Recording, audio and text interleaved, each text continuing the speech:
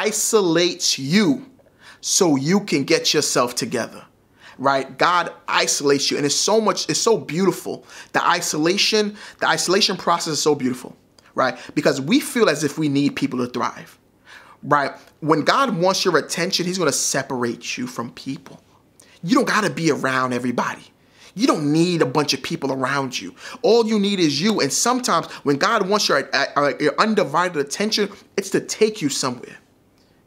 We move so fast in this world. We move so fast. Everything is fast, fast, fast. Sometimes we got to slow down. You got to slow down and take yourself seriously. You got to slow down and watch what's going on around you.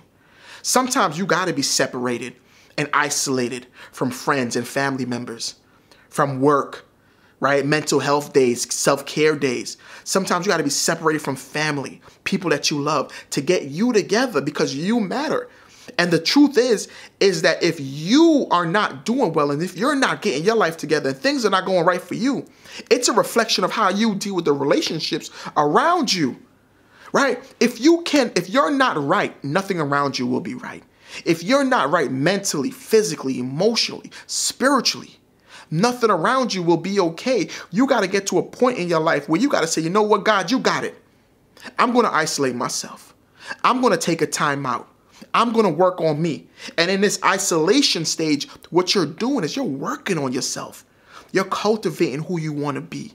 You're working on your gifts. You're working on your talents. You're working on your anger. You're working on your smile. You're working on your insecurities. You're working on your self esteem. You're working on these things because there's work to be done during the isolation process. Right?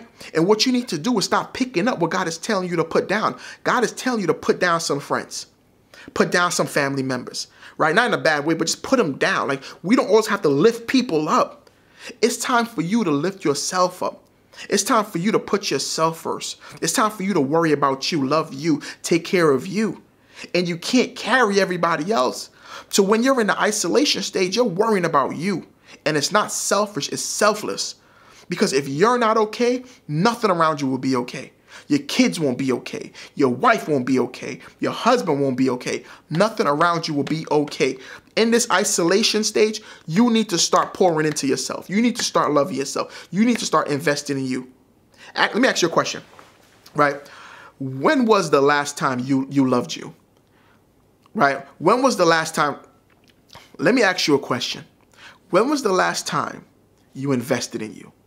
When was the last time you poured into you? When, when, was the last time you worried about you? You isolated yourself and you were just there. It's just you, just you and you, without the noise, without all the chaos. When was the last time you chose you? You took a mental health day. You took a self care day. You said, you know what, I'm gonna go to the spa by myself. You know what, I'm gonna go to the gym today. I ain't gonna worry about work. I'm not gonna worry about the noise. I'm gonna worry about me because I matter. I care. I love me. I love me that much that I'm gonna invest in me today. When was the last time you did? I challenge you. I challenge you to invest in yourself. Right? Start right now. Start today. Invest in you. Do something good for yourself. Do something amazing for yourself. Do something, it could be anything. But you are you're choosing to do this. You're doing this intentionally. I want you to intentionally do something for yourself that will make you happy. All right? Drop some comments. Tell me what you're going to do. Tell me what you're going to do and it could be anything. I don't I don't care what it is, but at least you're being intentional about your happiness, about your goals, your dreams, and your life. Drop some comments and let me know. Peace.